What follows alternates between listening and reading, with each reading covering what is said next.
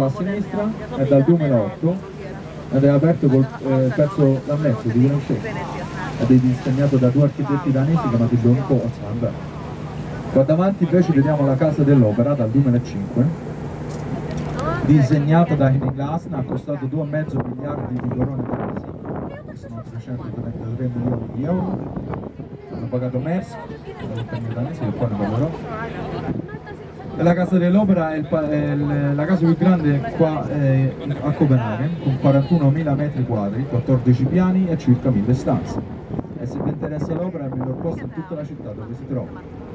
Operahuset her til venstre fra 2005 tegnet Henning Larsen. Den er kostet 2,5 milliarder danske kroner.